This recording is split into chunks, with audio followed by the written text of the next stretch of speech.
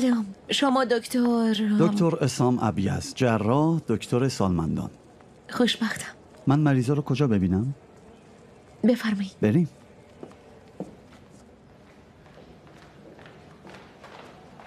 ممنون عزیزم. دستت درد نکنه.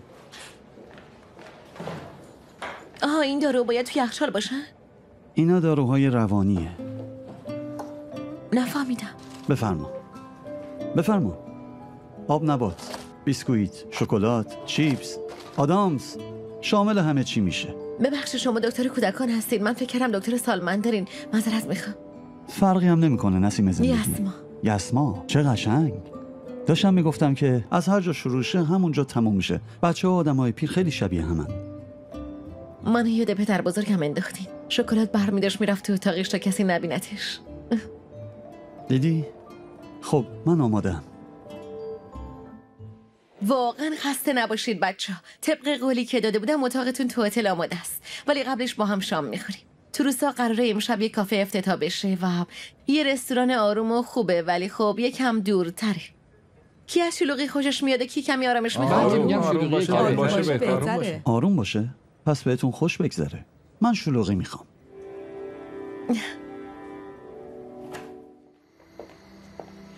او اینجا رو باش. یکم زیادی خوشگل نشدی؟ سلام مردم نمی‌تونن تحمل کنن. بفرما. بفرمایید.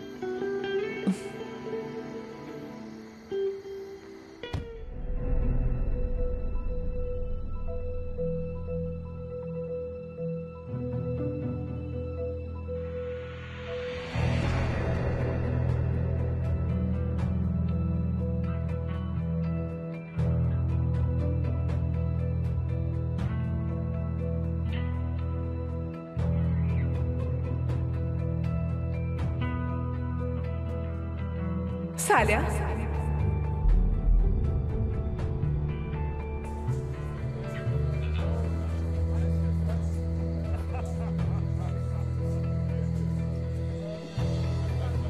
مبارکه و مرسی بابت دعوتتون. دکتر اسام امروز تو درمانگاه کمکمون می‌کرد.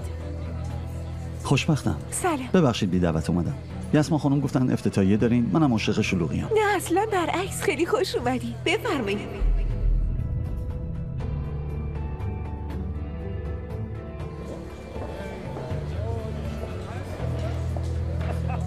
خوش اومدی. الان گارسون رو میفرستم ازتون سفارش بگیریم